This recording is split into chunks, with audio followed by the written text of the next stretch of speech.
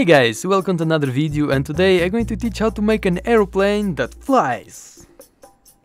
Okay, don't flies.